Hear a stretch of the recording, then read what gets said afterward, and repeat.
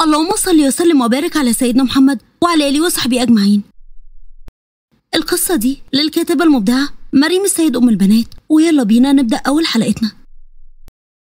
في إحدى الأحياء الراقية بتسكن عائلة وكيل النيابة اللي اسمه محمد فخري ومراته إسراء وبنتهم ملاك وفي فجر يوم جديد قامت إسراء من نومها عشان تصلي صلاة الفجر وبدأت تصحي زوجها. محمد حبيبي قوم يلا الفجر أذن. حاضر حاضر صباح الخير. صباح النور. هدخل أتوضى. تكون أنت فقت كده ها؟ وقمت من على السرير. ماشي حبيبتي. طمنيني. مالك عاملة إيه؟ الحمد لله بقت أحسن. دي حبيبتي سخونية كانت تعبها قوي بس الحمد لله نزلت. وبقت كويسة. طب الحمد لله. أنا هدخل أطمن عليها. تكوني اتوضيتي.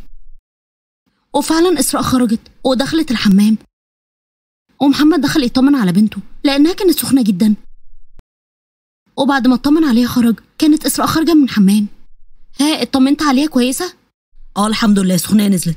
الحمد لله. بصراحة دكتور خالد دكتور أطفال كويس. فعلا ربنا يجازيه خير. هدخل بقى أتوضى. الفجر قرب يأذن. ربنا يتقبل منك يا رب. اوعي تنسي تتصلي بأم أدهم. لا مش ناسية. داخله أجيب الموبايل أهو. هرن عليها. ودخل الحمام. وهي مسكت تليفونها. اتصلت بأم أدهم اللي هي سلفتها. عشان صلاة الفجر. هي متعودة إن هي تقومها كل يوم. عشان تصلي الفجر. وبعدها قفلت معاها. ولبست الإسدال الشرعي بتاعها. وصلت. وفي بيت سلفة إسراء قامت على صوت تليفونها وهو بيرن كانت إسراء سلفتها. صباح الخير يا إسراء عاملة إيه؟ صباح الورد يا إية؟ قومي يلا الفجر خلاص أذن. قمت يا حبيبتي خلاص. يجازيكي يا رب خير. حبيبتي إحنا إخوات. ربنا يتقبل منك صالح الأعمال. ومنكم يا رب. وقفلت معاها. جزئية كان قام من صوتها. دي أم ملاك صح؟ آه يجازيها الله كل خير. الصراحة ما فيش يوم نسيت تصحينا والله بقول لو إسراء أختي مش هتعمل اللي بتعمله معايا. ربنا يبارك لها في ملاك هي شخصية محترمة. كفاية لما ولدتي آدم هي اللي خدمتك. وما خليتش حد يعمل لك حاجة. فعلا والله يا محمود ربنا يجازيها كل خير ويقويني بقى رد جمالها. ربنا يديم ما بينكم محبة. يا رب يلا قوم بقى عشان تلحق تصلي في المسجد. وقام دخل اتوضى. ولبس ونزل. وهي كمان لبست اسدالها وصلت فرضها. وبعدها دخلت على أوضة ابنها. ادهم حبيبي قوم يلا عشان تصلي الفجر قبل ما تروح المدرسة. يلا. سيبيني أنام شوية يا ماما وبعدين هقوم. ادهم بطل دلع المفروض تقوم تصلي الفجر مع باباك في المسجد. بس أنا قلت مش مشكلة. خليه يتعود يصلي هنا. وبعدين ينزل مع باباه. يا ماما لما أصحى أصلي. مش هيحصل حاجة يعني لو صليت الصبح مش في وقته. لا طبعا الصلاة في وقتها. وكمان صلاة الفجر فيها بركة. يلا قوم اخلص بقى. وابقى نام تاني قبل ما تروح المدرسة. أوكي؟ قمت أهو يا ماما قمت. عايزة أقول لكم حاجة. أدهم في الوقت ده عنده عشر سنين. وملاك عندها خمس سنين. أدهم قام واتوضى وصلى. ادخل بقى نام. هصحيك على ميعاد المدرسة. وآه سيب التليفون من إيدك بدل ما اضطر أخده منك.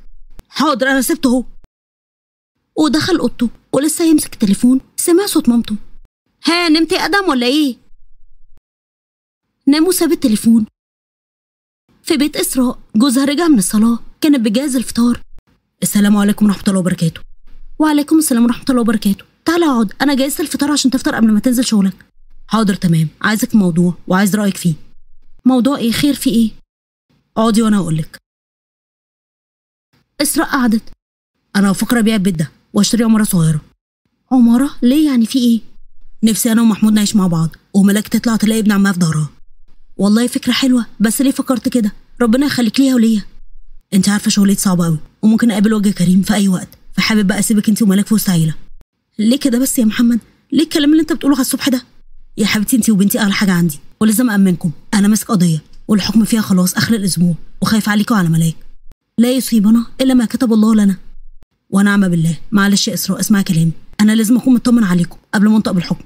حاضر يا محمد أعمل اللي يريحك. وأنت عارف إن أنا بحب آية وبحب جدا ابنهم أدهم. ما عشان كده قلت تبقي في وسطيهم. عشان لو حصل لي حاجة أكون مطمن عليكم. بعد الشر عليك. ماشي يا محمد. بس أنت أخدت رأي محمود؟ طبعا أخدت رأيه. هو شاف لنا مكان كويس. هنروح النهارده بعد ما نرجع من الشغل. أنا وهو هنتفق ونيجي ناخدكم. تتفرجوا عليها. ماشي وانا هستناك.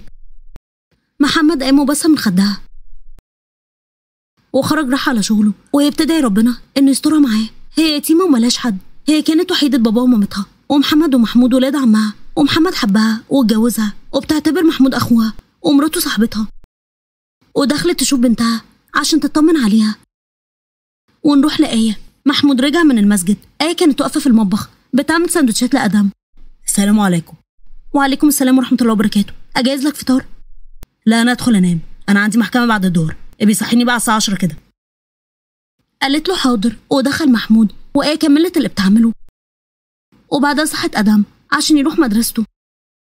قام لبس وتوجه لمدرسته. وبعدها مامته دخلت ترتاح لحد ما عاد صحيان جوزها. في شقة إسراء كانت نايمة جنب بنتها ملاك بعد ما طمنت عليها إنها بقت كويسة. قامت تجهز الغدا. قبل ما جوزها يجي وسمع صوت تليفونها. وشافت الرقم كان جوزها. حبيبي معلش ما سمعتش التليفون كنت نايمة جنب ملاك. ولا يهمك يا حبيبتي طمنيني على ملاك عاملة إيه دلوقتي؟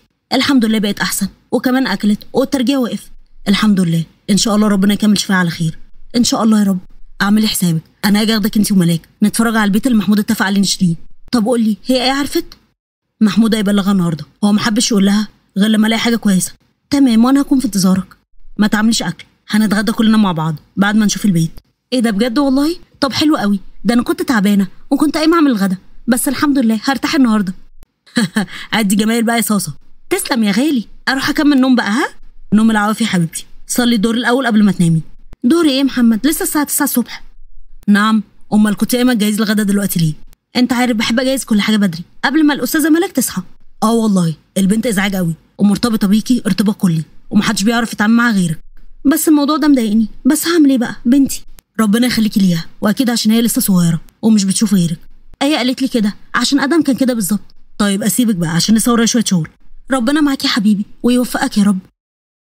وقفل معاها وهي دخلت تنام جنب بنتها وكانت ظابطة المنبه على صلاة الظهر عشان تقوم تصلي في ميعاده. في بيت آية قامت من نومها قامت تصحي جوزها عشان شغله. محمود قوم يلا الساعة عشرة. حاضر قايمه اهو معلش اعملي فنجان قهوة؟ حاضر بس الأول تفطر. مصدع قوي والله مش هقدر. معلش يا حبيبي انت ما اكلتش من بدري وده سبب الصداع. كل الأول وهعملك القهوة. أنا عارف مش هتعمل قهوة غير لما آكل. حبيبي القهوة على الريق بتتعب المعدة. لازم ناكل الأول وبعدين اشرب اللي تشربه. ماشي يا ست إيه قايمه اهو آه صحيح نسيت أقول لك على حاجة مهمة. حاجة إيه دي؟ قول. انت عارفة إن محمد أخويا؟ نفسه يشتري بيت من زمان ونعيش أنا وهو في بيت واحد.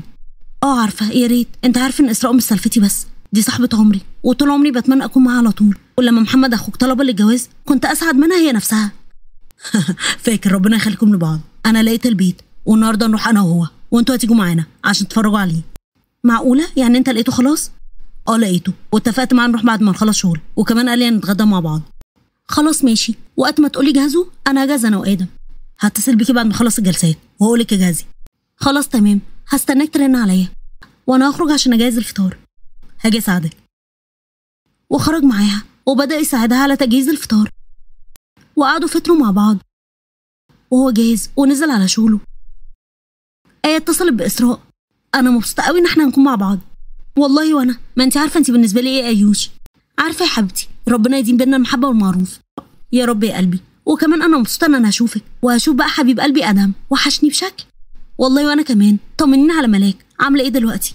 الحمد لله بقت أحسن من أول. كنت قلقانة جدا عليها. ربنا يكمل شفاها على خير ويبارك لك فيها.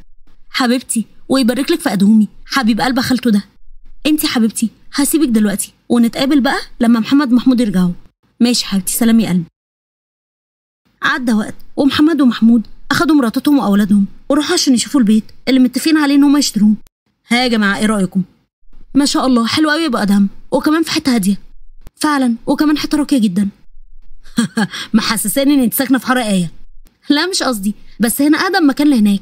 فعلا أنا لما كلمت السمسار قلت له على مكان يكون هادي وبعيد عن الدوشة. كويس بصراحة. ذوقك حلو يا متر. طبعا يا ابني. ما أنا طول عمري ذوقي حلو ولا إيه؟ تبا للتواضع يا متر. طب خلاص أتفق مع صاحب البيت؟ آه ويا ريت لو في حاجة عايزة تتعمل في الشقق قولوا بقى. وآية وإسراء قال له لا مش محتاج حاجة. على خيرة الله هتفق مع البايع وادفع له وننقل بقى في أقرب وقت. تمام ماشي. صحيح فين آدم؟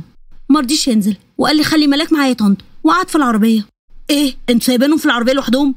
لا ما تخافش. مع مرات البواب بتاع العماره اللي جنبنا. فاتحه كشك. وأنا قلت لها بقى تخلي بالها منهم. لا كده خطر عليهم. يلا ننزل. ونزل محمد جري. كان آدم شايل ملاك وبيلعبها آدم حبيبي أنتوا كويسين؟ آه يا عم كويسين. حتى ملاك ما عيطتش خالص.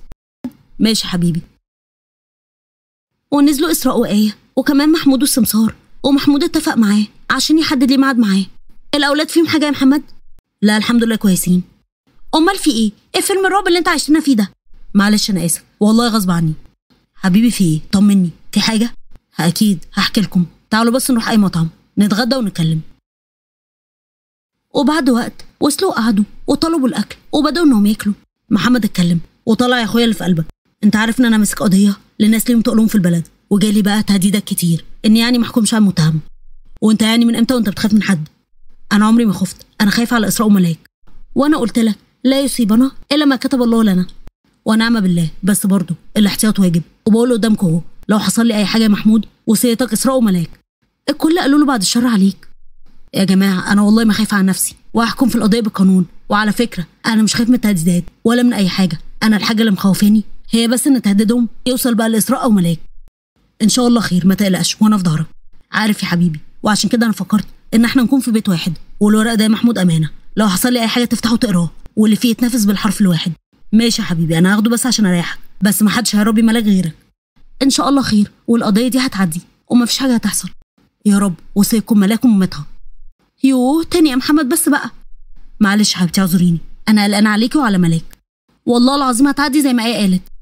إن شاء الله معلش بقى نكدت عليكم. بس أنا ماليش غيركم أتكلم معاه إيه الكلام ده؟ إحنا إخوات ولازم نكون في ظهر بعض.